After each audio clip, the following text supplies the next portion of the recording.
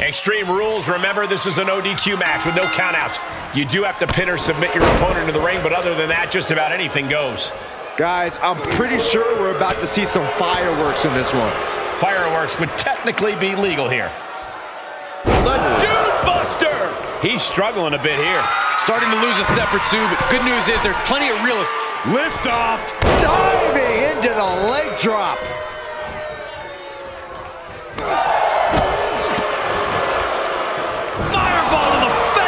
Are you kidding me?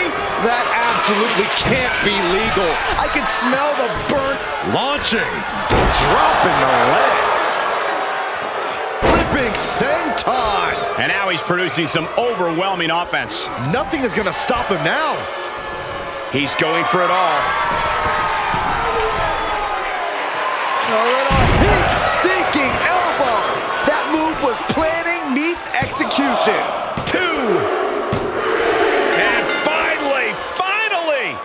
Picks up the victory. Here is your winner, Sheldon Hart! Oh, man. Look out now. This is about...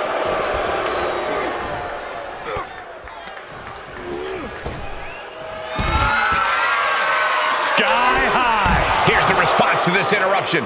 And you can't blame him for standing his ground and making him pay for the interruption. Shining Wizard.